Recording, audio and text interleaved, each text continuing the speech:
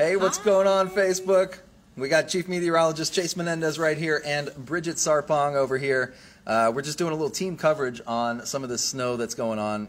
Eh, winter weather. I'd put it winter weather. Some snow that's coming, uh, though. And uh, we were talking about those conditions outside. Just icy, very, Icy. very cold. Brr, oh my goodness, so cold. But we've got you guys. That's right. We've got you guys covered. We're going to be here all weekend covering up this uh, this winter weather that we've got, and it is going to get to be pretty crazy. So I'm going to jump over here on the computer and we'll take a look and we'll see what we've got going on. One of the things that's popped up here is a winter storm warning.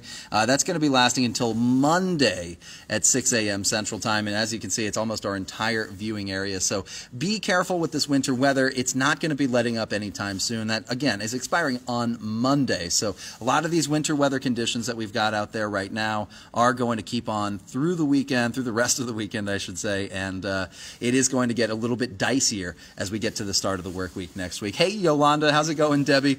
Uh, good to see you guys uh, watching this Facebook Live with us. Um, I'm really glad that you could join us. Now, we've also got a wind chill warning expiring Monday afternoon at 1 p.m. Central Time. So if you think it's cold out there right now, just get ready because temperatures are going to keep dropping off. We're actually going to see the winds picking up substantially for tomorrow, about 20 miles per hour. It's going to give us a strong wind chill factor. And I'll be honest, I never thought I'd see this in my life. this is a blizzard warning in Guadalupe Pass. Uh, the National Weather Service, uh, we're, we're going to be seeing strong, strong wind speeds and a lot of snow, especially in the Guadalupe Pass. So that actually fits the conditions for a blizzard warning. I, I'm pretty surprised, I got to say. But uh, hey, Alan, how's it going? Jan, Jordan, good to see you guys. I'm glad y'all could you know could view this as well. But uh, so far, none of the blizzard conditions have uh, popped up just yet. We've actually got a lot of white showing up here in Odessa and Midland, right around our radar tower. Same story in San Angelo. It's right around the radar dome. Uh, it looks like feedback out there, but I was cruising around earlier. Be careful on the roads if you have to go anywhere. I had to get to the station, but if you're driving around, be really careful. And I did notice some freezing mist and things like that. So I know humidity is exceptionally high right now, and that because temperatures are going to be so cold, that's going to allow that freezing mist to kind of accumulate on your windshield, on your uh, hood, and on, of course, the roads. So very, very slick conditions. I did slide around a little bit when I was getting into the station. So really, really be careful. If you can stay indoors, definitely do so. This is this is uh, not the kind of conditions you want to be driving in. And again, we're actually going to see this these conditions get even worse. Now, snow depth shows about three to six inches right around Odessa. Now, that's not exactly snow that we're seeing on the ground for most of us. That's actually sleet, which is uh, tiny little balls of ice, whereas snow, of course, comes in the form of flakes. But, uh, Brian, we'll get ready. We, we sure are going to get some more snow.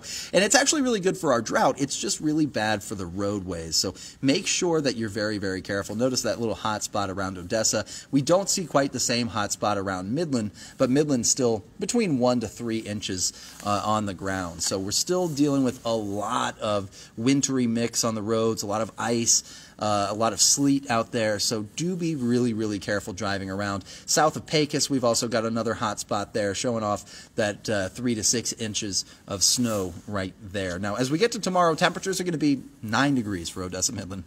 Nine degrees, single digits. This is where it starts. We're going to keep cooling down. And remember, humidity is super high 92% for Odessa Midland, 100% for Hobbs. And that just means that it's going to stay uh, humid, and that humidity is going to produce a lot of fog. It's going to produce a lot of wintry mix, a little freezing drizzle, and allow that ice to accumulate on the roads. Now, we do have more snow and more winter weather on the way. This model not showing off any cloud cover, but watch what happens in the next couple of hours. Here comes another band by 9 p.m. that's actually going to be passing through the northern basin. So that's what we're going to be looking for. Hey, Minerva and Robert, it sure has been bad all day. Make sure to keep your pets warm too. Uh, we heard about a couple of power outages, so make sure you have a plan of a place to get to uh, in case that your power does go down, and a plan for your pet as well, so that you don't have to leave your pet uh, potentially in, in an apartment without power or a house without power. So again, make sure to stay safe and, and don't forget about your pets and your little children as well, especially elderly people. Uh, everybody uh, is included in that, so make sure everybody stays safe. But here comes that band tracking in from the west and moving off to the east, uh, not producing a whole lot of snow, but it is just going to pile up on top of what we've had already. Now, by the time we get to midnight on Sunday, things clear out just a tiny bit, but then get ready, here it comes. A little snow in the northern basin, and then all this excess snow across most of the Trans-Pecos, the Central Basin, and you can see that just whipping on through a lot of our viewing area. So that's the conditions that the National Weather Service is talking about with the blizzard warning that we have in Guadalupe Pass. You can see a lot of snow. Let me zoom in on that for you. You can see a lot of snow out that way as well as some really, really strong winds. So make sure to watch out for that. And again, if you can stay indoors, I would highly recommend you do that.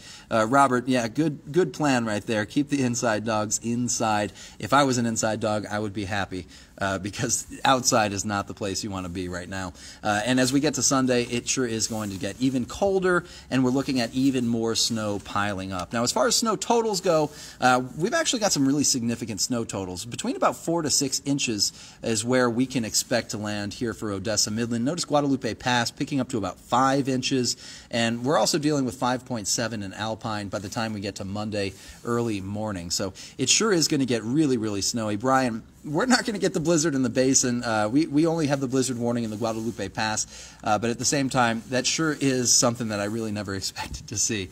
Uh, pretty crazy right there. Dairy Queen does have the best blizzards. I have to say, Brian, you're totally right, but uh, I don't know. We'll see what Mother Nature's got in store for us. Uh, she, I guess, can do some pretty good blizzards herself. So, anyway, I just wanted to give you guys an update as far as what's going on here with our winter weather. And again, we do have some team coverage. Uh, I've got Bridget in studio right now. We're just kind of rolling through and trying to stay warm. I've got my big jacket on, even inside. She's got a pea coat on because and some gloves. so anyway, uh, we'll, we'll leave you here. We're going to keep these updates coming all throughout the weekend. So make sure to keep it here to our Facebook page, and of course, uh, catch us at Big Two News at 10 tonight on air on Channel Two. And we'll see you guys later. Make sure to stay stay safe and stay warm.